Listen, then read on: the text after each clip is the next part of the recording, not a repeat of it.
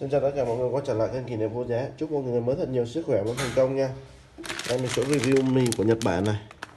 Mì ramen ăn liền nha Của Nhật Bản đấy này Hương vị thịt hầm tôm Tokosu này. Vua mì ramen nha Mì Nhật thượng hạng nha Cái này phải nấu 4 phút. Rồi mình sẽ cho nồi trước nha. Ồ Cái sợi mì này nhìn giống ờ, sợi mì tươi ấy, mình hay ăn á. Nó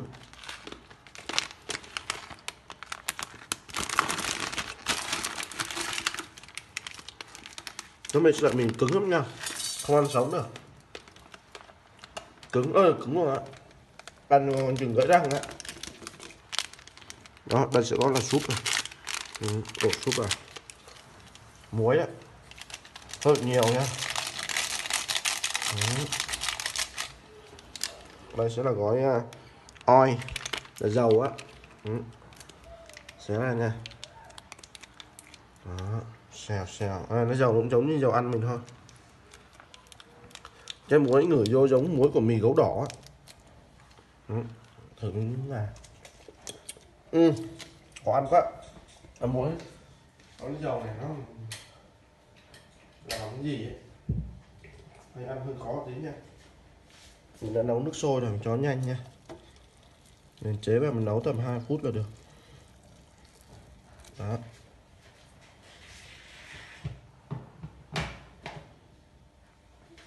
Tôi sẽ bật bếp lên nha. Đó. Trong thời gian chờ đợi mình sẽ review gói mì này nha.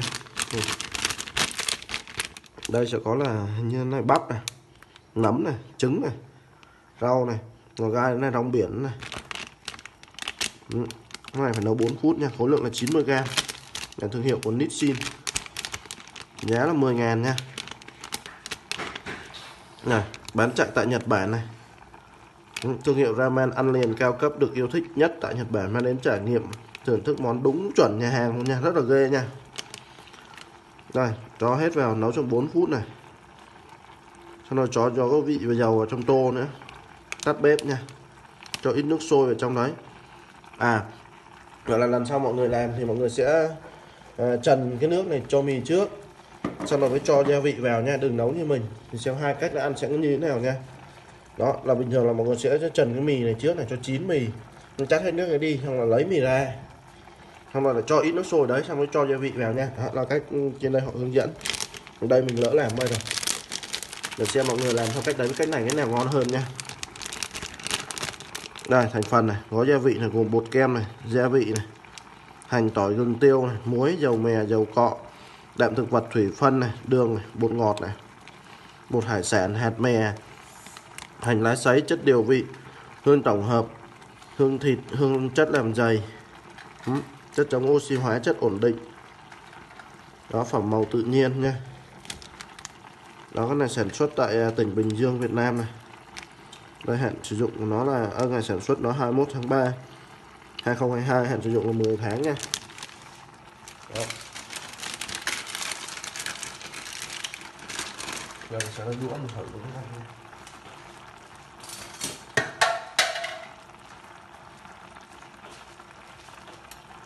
đó sợi mì đã mềm một tí này đó là lần sau mọi người làm theo cách kia thì mọi người sẽ trần cái mì này trước trong nước sôi trong vòng 4 phút rồi phải cho gia vị vào sau nha.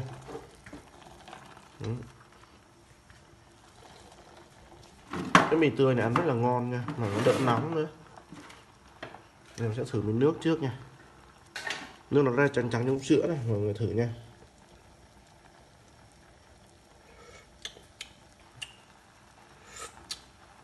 Uhm.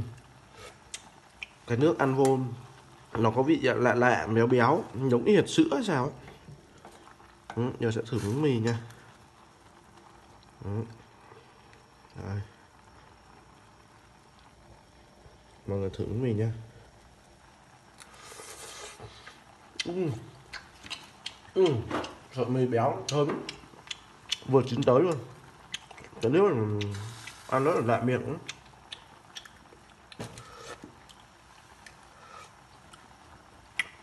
ừ, nếu mà vừa ăn mình thấy nó có độ béo béo giống như y hệt là uống sữa ừ và quyện với mì này thì giống như mì sữa rất là ngon nhưng mà lạ miệng nữa nha. Ừ. mọi người nấu thử cách kia xem cách nào ngon hơn nha. Đó. Ừ, nhìn là sợi mì ra sợi mì tươi thì lúc nào cũng ngon hết nha. Đó. Cực kỳ đã nhiều lắm này. Đó, nấu tí nó nở ra nữa. Rút bớt nước lên xong rồi. Nở sợi mì ra ăn cực ngon luôn. Dài này.